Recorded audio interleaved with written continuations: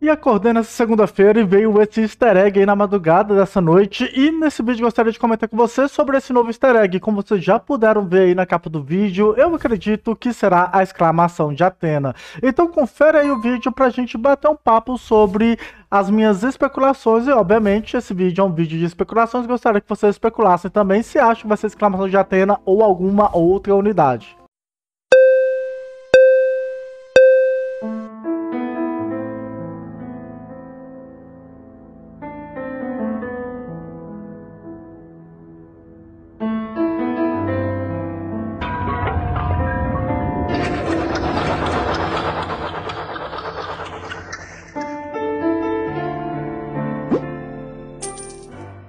Vídeo apresentado para vocês e agora eu gostaria de apresentar os argumentos por que eu acho que vai ser a exclamação de Atena. Primeiro, eu já estava falando com vocês que a próxima unidade que vai ser revelada é uma unidade SSX. Isso desde o vídeo da semana passada, né? Entre seja o Afro Roxo, quem que agregaria mais aí na sua conta.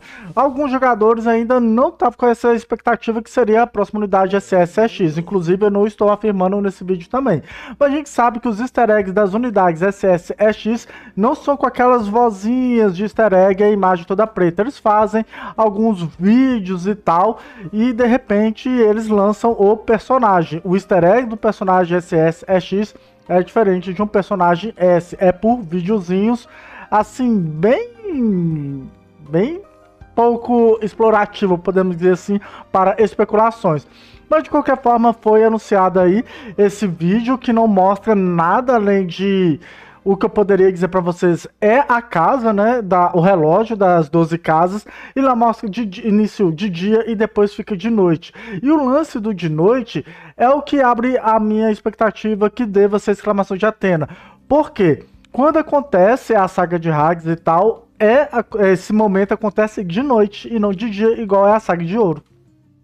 Então lá os renegados vão aparecer já com a sua vibe de Sapuri e é de noite também. Então, mais uma coisa que eu teorizo que seja a exclamação de Atena.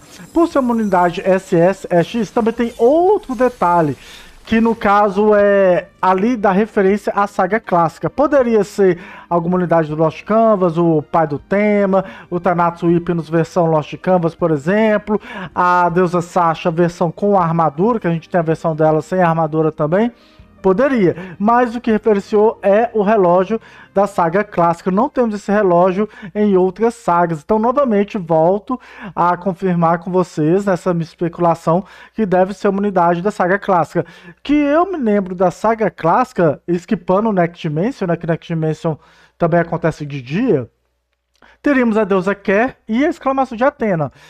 Eu não sei se a deusa quer vai aparecer, embora eu gostaria muito que ela aparecesse, mas acredito que anulando a deusa quer, novamente sobra aí a exclamação de Atena.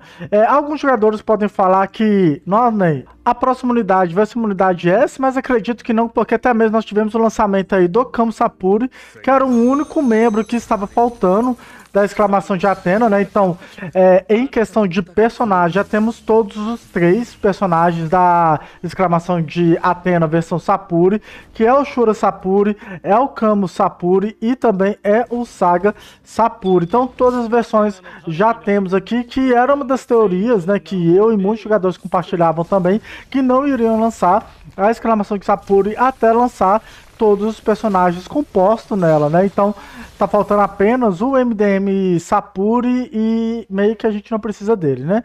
Aqui para fazer essa referência. E também vai lançar nessa né, semana o Afro Roxo também, né? Afrodite Sapuri, então tá bem legal aí questão de lançamento da saga clássica pra galera mais nostálgica também.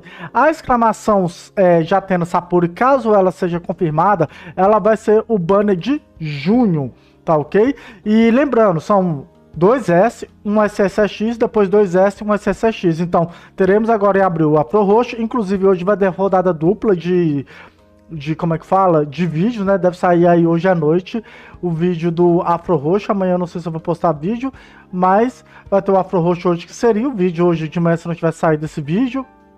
Vai ter depois, é, em maio, o Sage, e aí viria o SSX em junho, que é a exclamação de Atena. Aí em julho viria um novo S, em setembro seria aí, ó, em julho, depois agosto, um novo S, e aí fecharia o aniversário de 5 anos com o SSX, ok?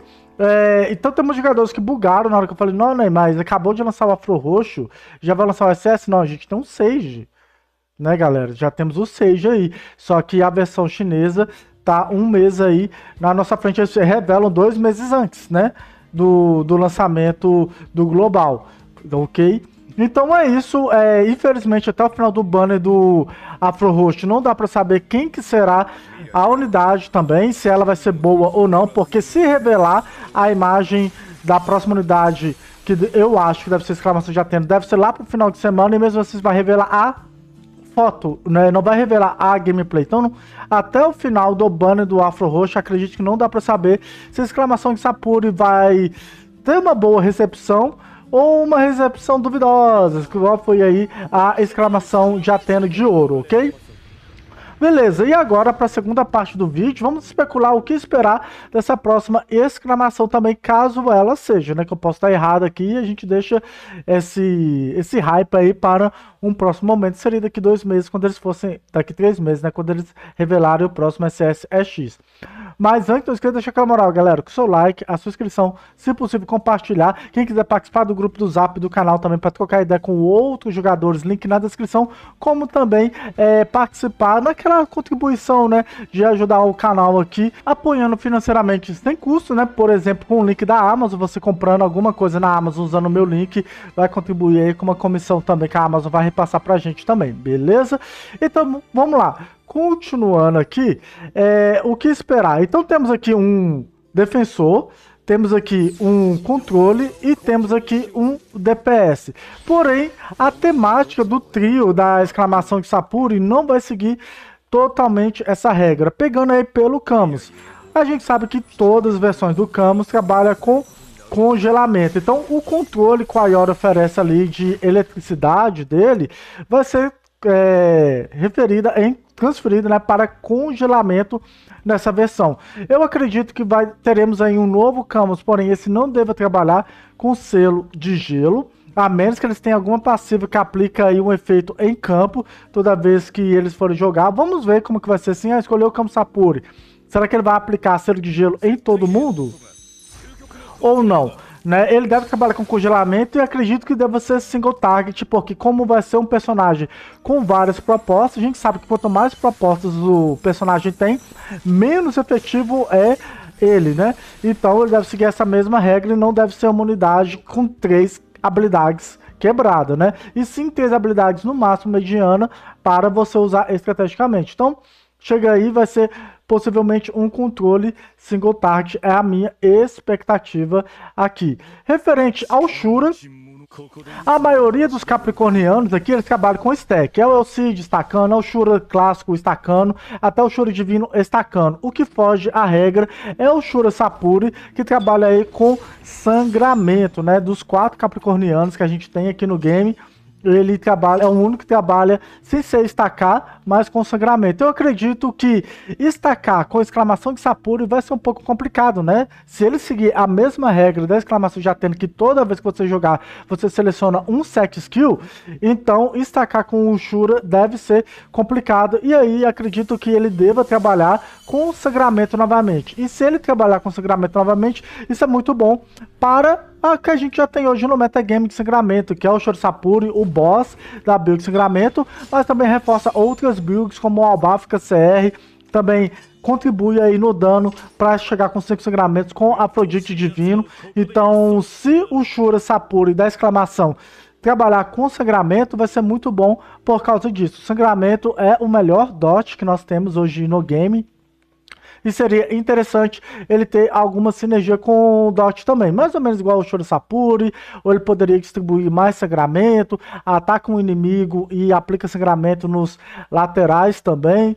Então vamos ver como que seria essa mecânica. Possivelmente vai ser uma mecânica diferente. Acredito que não deva estourar sangramento igual é o Abafka, igual o Shuri Sapuri, já que a Tecente tem a cautela de deixar cada unidade diferenciada, né, nas suas aplicações. E, mas eu acredito que o foco vai ser sangramento. E alvo único também, beleza? Talvez com dois aí laterais. Para fechar é o nosso Saga. O Saga que trabalha aí muito com a confusão, normalmente nas suas builds, e ataques em área com a sua outra dimensão. Não deve ser diferente, eu acredito que a versão Saga deve trabalhar aí com a outra dimensão também, dando um ataque em área, né? Coisa que a exclamação de ouro não tem também, né? Eles não têm um ataque em área. E a gente vê que vai ser muito mais DPS a proposta da exclamação Sapuri do que a exclamação de ouro, né? Que tem cura do Mu, por exemplo. E é isso, tem cura e tem um controle. Aqui vai ser talvez um ataque em área, um DPS mais ou menos único com o Shura e um controle, perdendo aí a vibe de curandeiro que o Mu tá oferecendo para de ouro. E, ou ele poderia trabalhar com confusão, mas acho que confusão não trabalharia, devido que a gente já tem um Camus, né? Então, dois controle no mesmo sex skill não deve dar. Então, eu acredito que eles vão trabalhar com o ataque em área do Saga, né? Seria aquele ataque em área já de uma vez. E deve ter a skill 3 da exclamação de ouro, que você carrega um ataque para dar um ataque mais forte. Eu acredito que possa repetir o mesmo ataque, só que com algumas aplicações de efeitos diferente, igual é a exclamação. Igual a exclamação de ouro, ela se bufa, né? Você vai aumentando o dano agora, né? depois que ela recebeu seu buff. Ela vai aumentando o dano conforme vai usando a exclamação de Atena, vulgo skill 3.